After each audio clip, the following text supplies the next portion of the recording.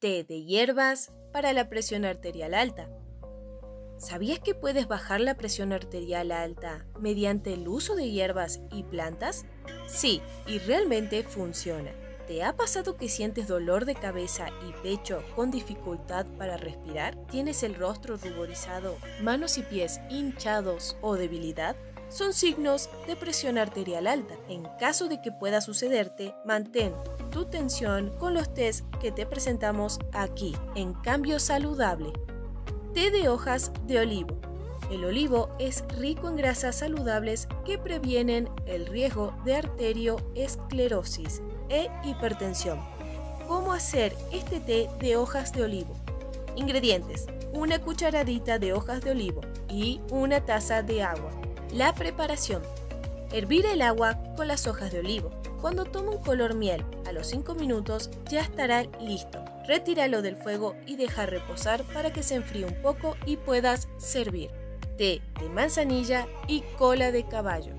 Este té de manzanilla y cola de caballo es ideal para la presión arterial alta. La manzanilla es conocida por sus propiedades relajantes. Asimismo, la cola de caballo tiene propiedades diuréticas que ayudan a eliminar el exceso de sodio que acumula el cuerpo a través de la orina. Ingredientes: una cucharadita de manzanilla seca, una cucharadita de cola de caballo y una taza de agua. La preparación: calentar el agua a fuego máximo y cuando llegue al punto de ebullición, coloca las hierbas antes mencionadas en ella. Deja reposar durante 3 minutos.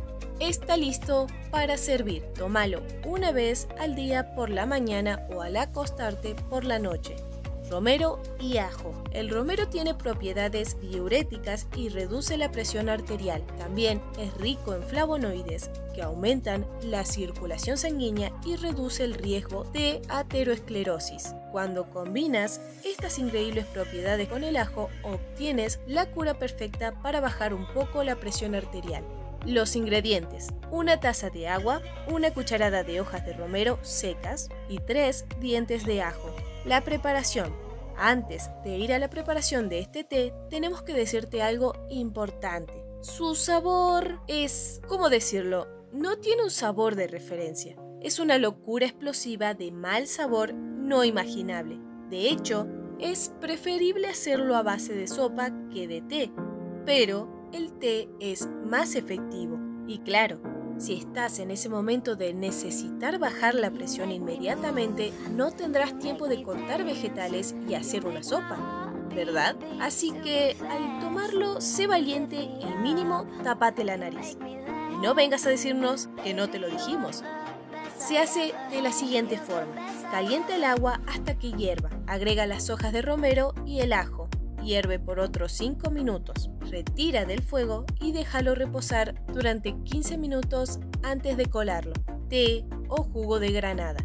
La granada es rica en antioxidantes y potasio. De esta forma ayuda a combatir la hipertensión arterial, la arterioesclerosis y el colesterol malo. Los ingredientes: una cucharada de granada y un vaso de agua. La preparación: mezcla las granadas en una licuadora.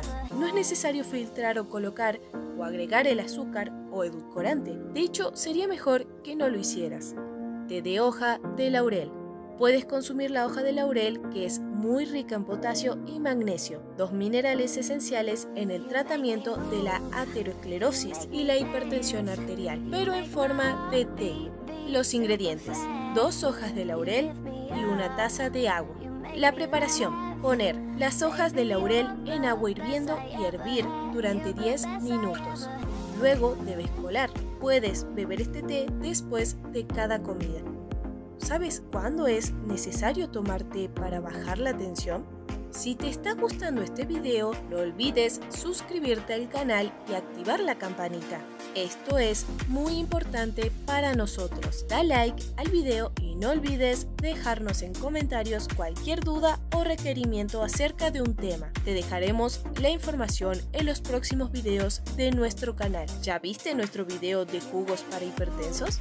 Volviendo a la pregunta, ¿cuándo es necesario tomarte para bajar la tensión? Si sientes dolor de cabeza pecho, con palpitaciones, dificultad para respirar, tienes el rostro ruborizado, manos y pies hinchados o mareo, pues son síntomas de tensión o presión arterial alta.